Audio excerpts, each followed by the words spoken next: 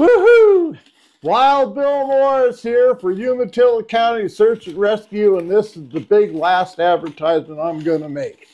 By golly, we're here for the Where the Rope Ends event, and some lucky person who stepped up uh, to help out the search and rescue people is going to win a Traeger barbecue grill.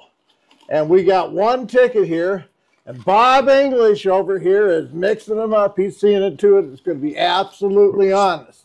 And I'm going to do the drawing. So, are you ready, Bob?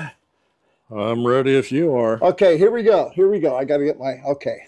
My eyes, I can't see nothing. Okay. And there it is, the lucky winner. Oh, there we go. Is eight two, nine, four, seven, three. That look right to you, Bob?